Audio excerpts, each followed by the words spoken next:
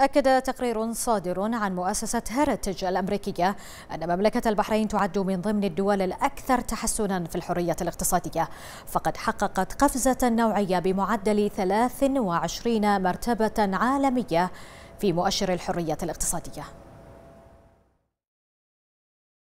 تطور اقتصادي حقيقي شهدته مملكة البحرين خلال هذا العام.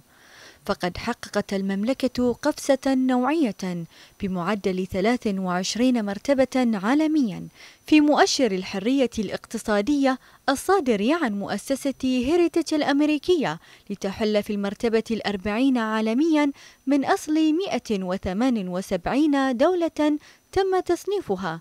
مما يجعلها في مصاف الدول المتقدمة التي شهدت تحسنا كبيرا من حيث معدلات الحرية الاقتصادية.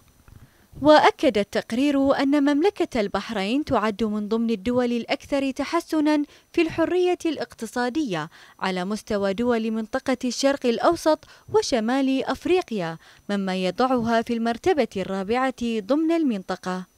والجدير بالذكر أن مؤشر الحرية الاقتصادية للدول يحدد عن طريق قياس أدائها في 12 مؤشرا فرعيا مندرجا تحت أربع ركائز وهي سيادة القانون وحجم الحكومة وفعالية الإجراءات والأطر التنظيمية وانفتاح السوق.